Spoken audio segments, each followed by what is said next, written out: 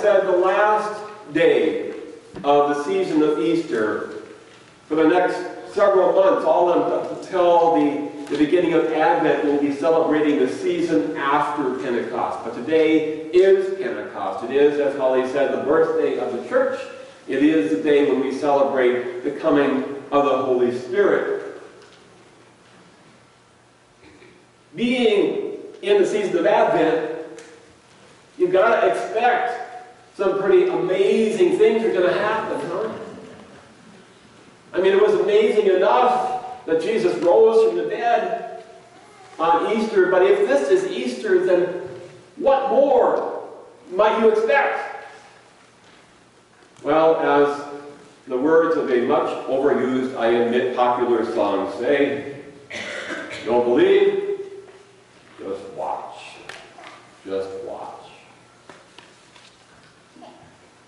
People were gathered from all over the Jewish faith, all over the empire in Jerusalem on the day of Pentecost. They were gathered for the giving of the Holy Spirit, though, because they didn't know what was coming.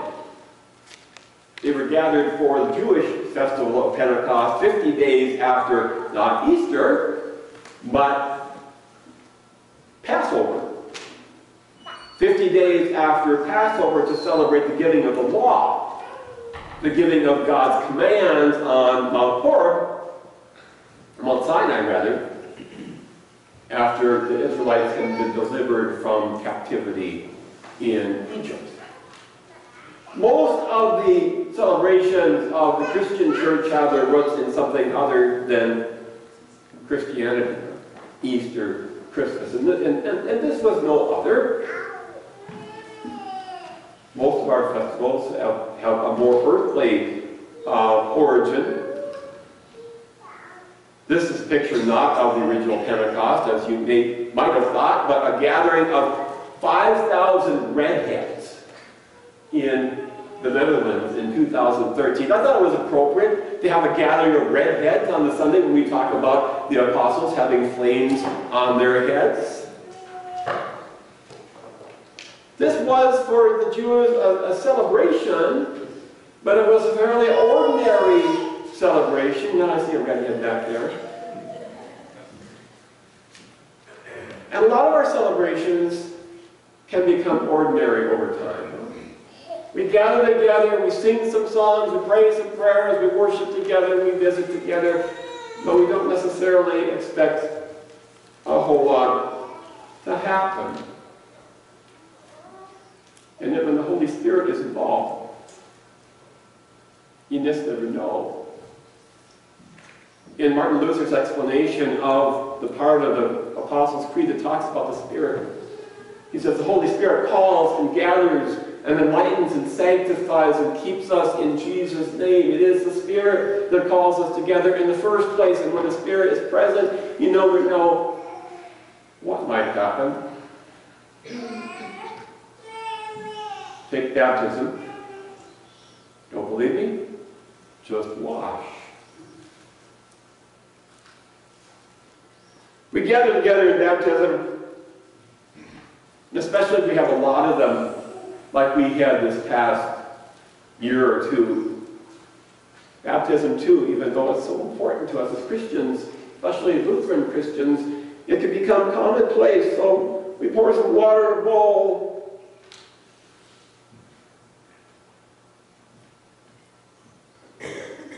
We light a candle.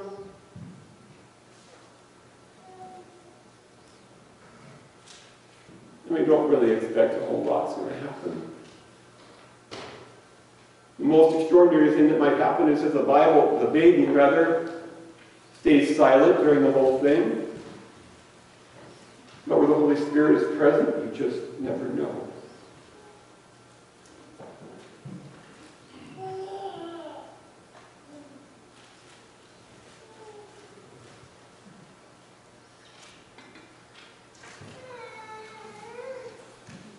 Somebody told me the best way to blow out a fire is not to blow it out, to extinguish it with your breath, because you never quite know where the breath is going to send it. but simply to gradually remove the breath, remove the oxygen.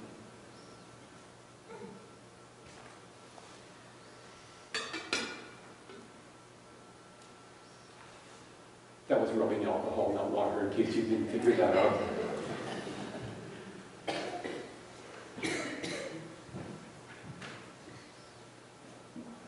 But you have to be careful with the fire of the Holy Spirit.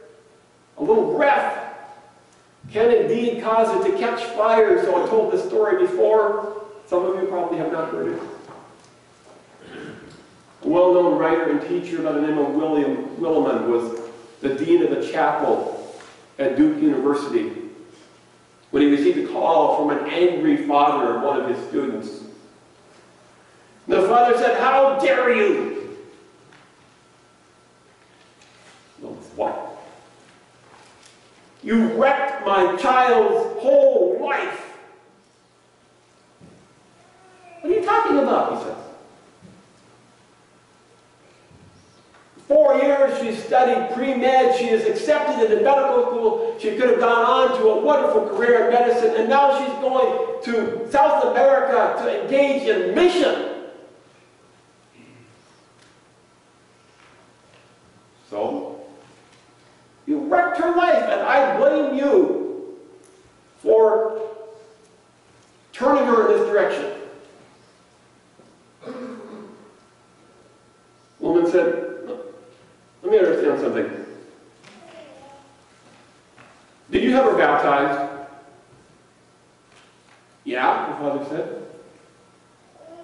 Did you take her to Sunday school where she could learn God's Word? Yeah, her mother and I did.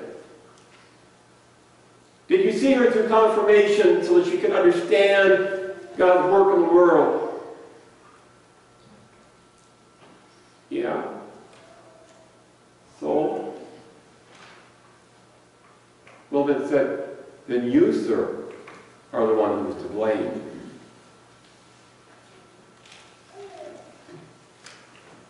When you raise children in the Spirit, when you invite the Holy Spirit into their lives in baptism, you just never know what's going to happen.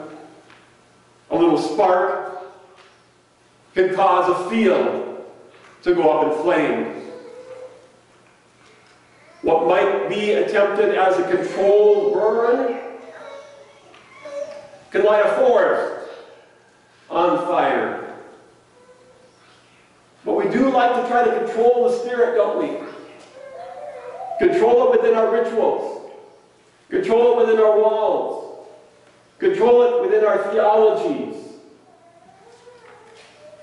control it any way we can.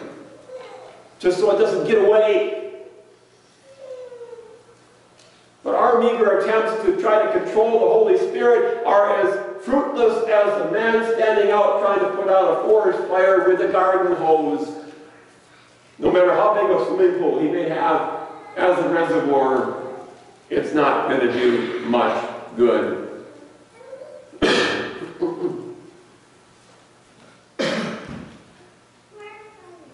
So what happened when the Holy Spirit lit upon those disciples? They began to preach. They began to speak in all different languages. Actually, the scholars aren't exactly sure whether the Bible means they spoke in all different languages, as we say spoke in tongues, or whether they were understood in all different languages. Whichever the case, 3,000 and more people heard the word of God and were amazed. Says, aren't these men all Galileans? How is it that each one of us hears them in his own, own native language to which a predecessor of Martin Luther must have said, what does this mean?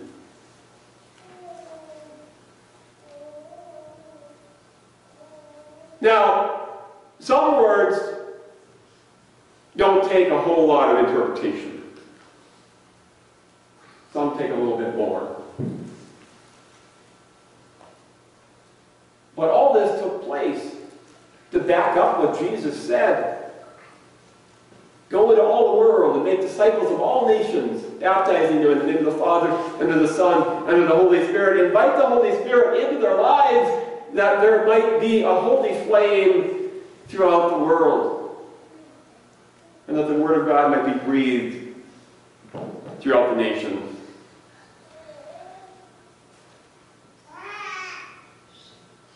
As I said, some words take less translation than others. I'm guessing you could probably guess what one young man is saying to the other, even though it's in Spanish.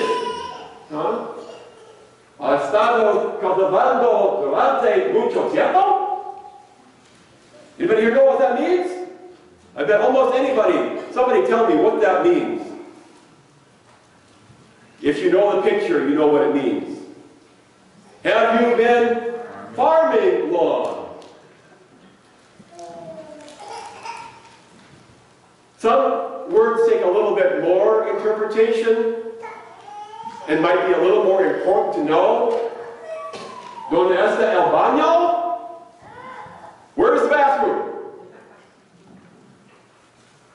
Some might be even more important. Where's the bread? Where can I find food? Someone has said, evangelism is merely one beggar telling the other beggar where to find food, where to find bread. And we know, don't we? We come to Jesus to find bread. We come to Jesus who is the bread of life. And we are invited to invite others to taste and see that the Lord is good, to invite the bread of life into our lives and into the lives of others. That invitation could be as simple as saying, Jesus loves me. Jesus me ama. It could be as simple as saying, I love you. Ti amo. It could be as simple as taking another's hand and saying, the peace of Christ be with you. La paz de Cristo. However you do it, it is Christ's wish that we share the good news with one another in the power of the Holy Spirit that gives us not only the impulse, the ability, but the language with which to share that word. So then, whether in Hebrew, the language of Israel, or Arabic, the language of the majority of Muslim countries, we can say with Christ, go in peace and pray for God's peace in our midst. Happy Pentecost. Amen.